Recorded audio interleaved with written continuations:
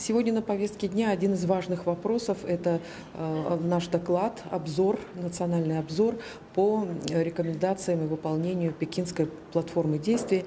Э, как вы знаете, в этом году, на следующий год, 2020 год, станет э, годом 25-летия пекинской, реализации пекинской платформы действий.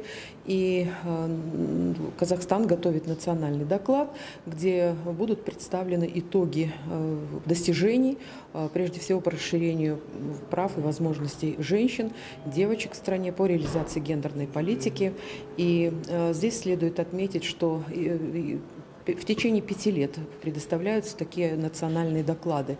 Но то, что касается лидерства по нашим показателям гендерном равенстве, хотелось бы отметить, что э, несмотря на то, что мы сейчас по показаниям Всемирного экономического форума занимаем 60 место из 149 стран, все-таки мы считаем, что вот за последние годы мы значительно продвинулись в вопросах продвижения женщин на политическом уровне, э, в экономическом. Э, здесь рассматриваются также и вопросы вопросы противодействия профилактики бытового насилия.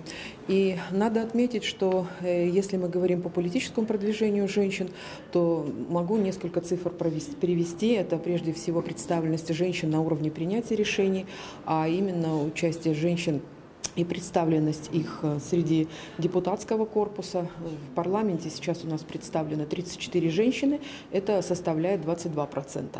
Если мы говорим о представленности женщин по партийным спискам в Мажилисе, то у нас сейчас 27,1%.